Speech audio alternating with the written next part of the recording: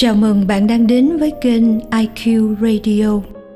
Sau đây, mời bạn nghe truyện ngắn Dỗ dành cũng khác. Tác giả Nguyễn Ngọc Tư. Giọng đọc Thùy Trâm. Trên kênh IQ Radio.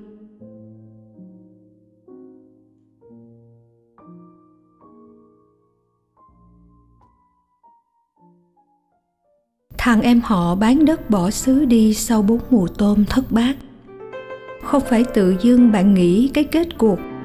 Cả nhà nó đùm gói lên xe đò đi miền đông làm mướn. Cũng có phần lỗi của mình. Mùa đầu nó trắng tay. Bạn bảo không sao đâu. Rồi xui rủi sẽ qua. Ngày mai là ngày mới. Bạn nói vậy ở mùa hai. Mùa ba em trắng tóc với những món nợ như thòng lọng treo trước mặt. Bạn vẫn khăng khăng, trời đâu phụ người ta hoài. Bây giờ nhớ lại, cái gọi là động viên lại giống như ru thằng em ngủ quên trong ảo tưởng. Bởi lúc nói những lời hời hợt đó, cả hai đang ngồi ngay dưới bến. Ngó dòng sông vẫn cợn phù sa, nhưng sắc nước bầm lại, xanh xám như con bệnh lâu ngày đồng tôm của thằng em, chỉ cách những ống xả thải của mấy nhà máy chế biến thủy sản chừng chục cây số. Và khoảng cách chừng đó về phía bắc là chợ, nơi còn hàng ngàn căn nhà dầm chân trên quãng sông nhuộm nước đen. Trong bao nhiêu tấm giặt rác rến, lạc quan cho mấy, cũng biết con sông mà chị em bạn từng tắm mát của 30 năm trước, nơi những người đàn bà xóm lá giặt áo gội đầu dòng nước tinh sạch ấy không bao giờ trở lại. Giờ rửa chân còn ngại, nói gì đến lấy nước đó làm chỗ sống cho tôm, vốn là loại đỏng đảnh khó chịu.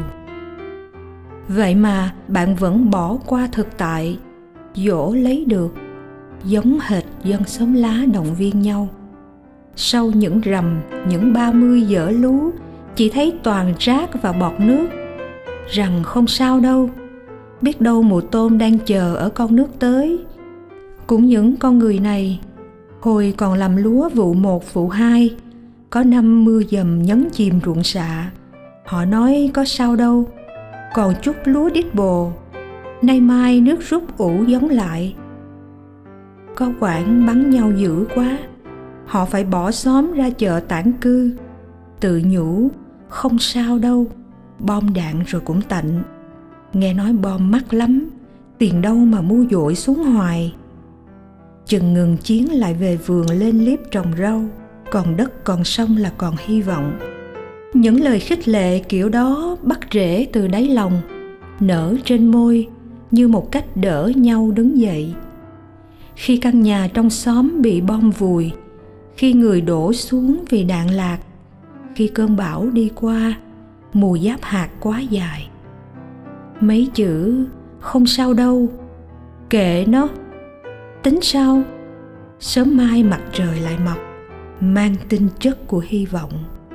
Cơ hội làm lại, tin vào sự từng trải trước bất trắc ở đời. Ông trời đâu có xéo sắc con người ta mãi được. Ý nghĩ ấy như đức tin. Coi lại dân xứ mình dễ dỗ. Mấy cuộc chiến qua xương thịt mất đi được yên ủi bởi tấm bằng tổ quốc ghi công treo vách, một chút tiền cho người thân. Buổi thăm chớp nhoáng nhân ngày lễ. Bên thất trận vẫn những bó xương buồn hiu, được vỗ về bằng một vài đại lễ cầu siêu rất lâu sau. Và người bị bức, bị nhổ khỏi rừng ruộng, bị ru ngủ trong những khu tái định cư sực mùi vôi mới quét để thức dậy thấy mắt cay, chẳng biết sinh kế ra sao. Kiếm ăn cách nào với cuộc đời phía trước? Chỉ trẻ con mới khiến người lớn biến dỗ dành thành nghệ thuật. Đứa trẻ tập xe đạp xước gối, sẽ nhớ ba nó vừa thổi vào vết thương vừa nói, cái thẹo này chắc tự hào lắm. Nhờ nó mà cô tí biết chạy xe nè. Hay cậu học trò yếu đuối không quên điểm 10 của ông thầy thể dục? Dù cậu về đích sau cùng. Bởi vì em đã không bỏ cuộc. Cũng là một cách bảo con nín đi. Mẹ lại nói, có muốn uống chút sữa không? Khóc nhiều thì phải bù nước. Bạn từng nghĩ, cuộc san sẻ khó nhằn nhất là với ai đó vừa tiễn người thân về đất. Nói với bà mẹ vừa mất con rằng, thôi cứ nghĩ duyên nợ với nhau chỉ chút này. Hay thằng nhỏ vẫn ở đâu đây? Chỉ cần mình tin là có. Thực chất là sáo mòn.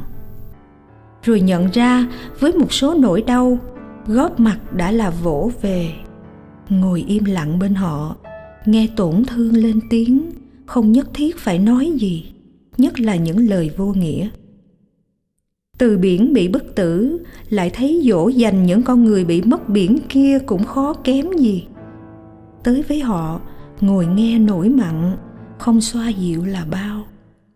Nói, đêm rồi sẽ qua, có khi bị đánh chảy máu mũi, bị phỏng rác dưới bao ánh nhìn thù nghịch rốt cuộc thì mi chọn bên nào?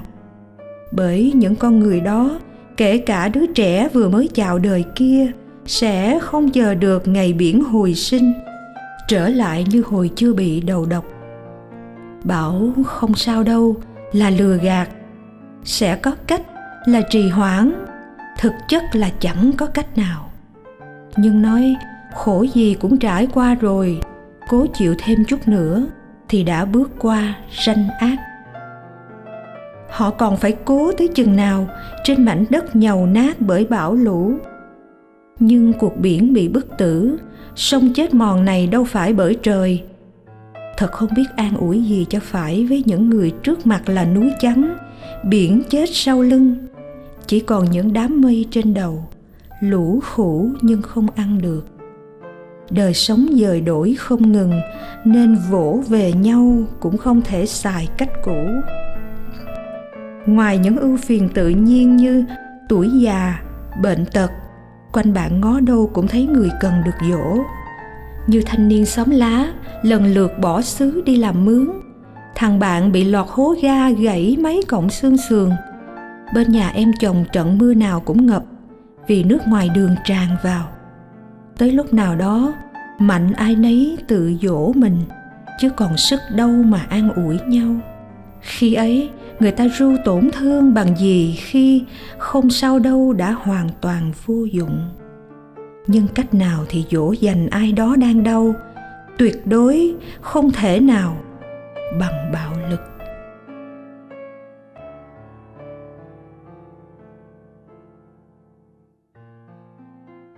IQ Radio cảm ơn quý thính giả đã đón nhận kênh. Mong quý vị tiếp tục theo dõi và đón nghe những bài đọc mới. Trân trọng. Chào mừng